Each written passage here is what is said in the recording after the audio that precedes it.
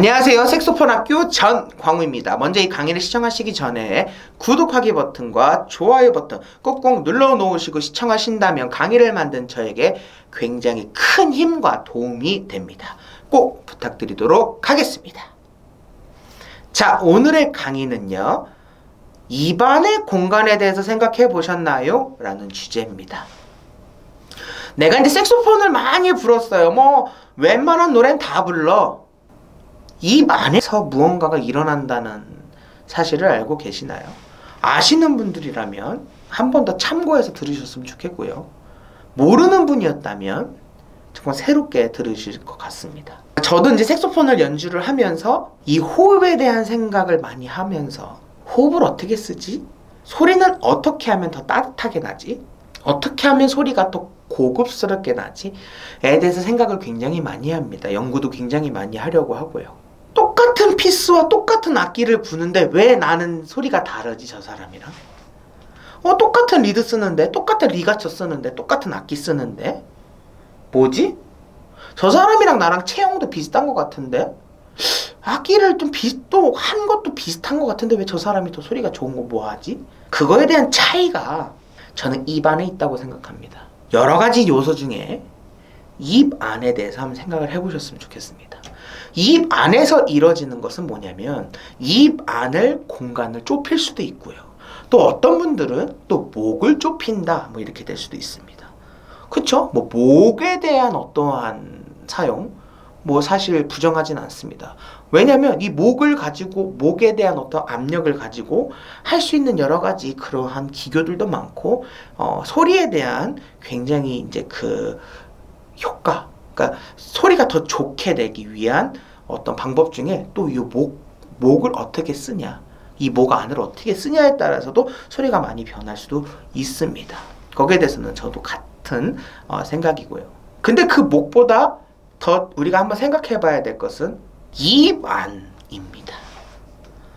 그 입 안에서 이루어지는 것은 뭐냐면 왜냐면 입 안은 공간이 정해져 있어요. 그쵸? 근데 그 입안의 공간을 넓히고 좁힐 수 있는 게 하나가 있는데 바로 혀예요, 혀. 네. 이 혀로 입안을 좁히면 또는 이 혀를 가지고 이 혀를 어떤 모양을 하고 거기에 맞는 호흡을 어떻게 쓰면 소리가 되게 많이 바뀌어요.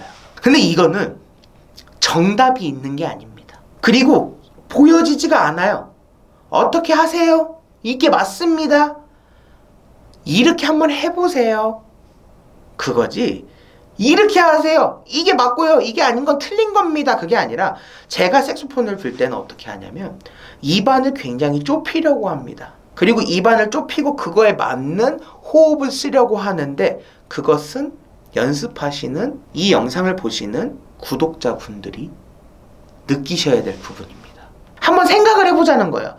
아, 내가 악기를 불 건데 내 혀가 어디에 있지?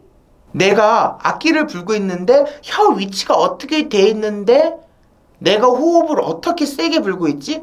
그럼 내가 지금 불고 있는 거에서 혀가 만약에 얼 이렇게 혀가 꺾여져 있다면 얘를 풀어보고 호흡을 더 약하게 해볼까? 또는 더 세게 해볼까? 또는 내가 혀가 에 이렇게 펴져 있다면 얘를 얼 이렇게 꺾어가지고도 소리를 내볼까? 혀를 조금 이 아래 치아에다가 붙여볼까? 입안을 어떻게 좁힐까? 어떻게 해야지 소리가 변화가 되지? 이러한 생각 한 번쯤 해보신다면 지금보다 조금 다른 무언가 톤에 대한 변화가 있으실 겁니다. 근데 그것은 이렇게 하세요. 저렇게 하세요. 너무 많아요. 많기 때문에 이거는 어, 사실 그 입속에서 내가 보, 제가 볼 수가 없잖아요. 그거를 본다고 해도 크게 어떤 그거가 있진 않을 겁니다.